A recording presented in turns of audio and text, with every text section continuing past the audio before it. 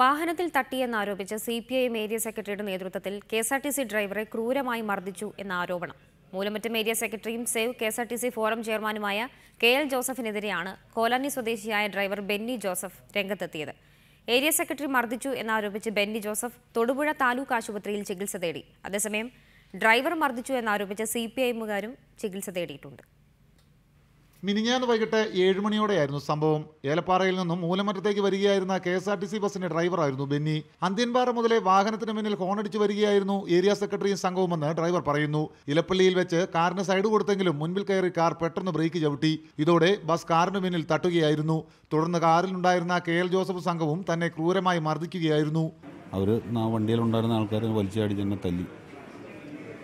ഞാൻ കണ്ടക്ടർ ഇറങ്ങി ഓടി വന്ന് ഒരാളെ കെ എൽ ജോസഫ് എന്ന് പറഞ്ഞ ആളെ പിടിച്ചു കഴിഞ്ഞപ്പോഴത്തേക്കും എനിക്ക് അവിടെ നിന്ന് ചെറിയ ഗ്യാപ്പ് കിട്ടി ഞാൻ ഓടി.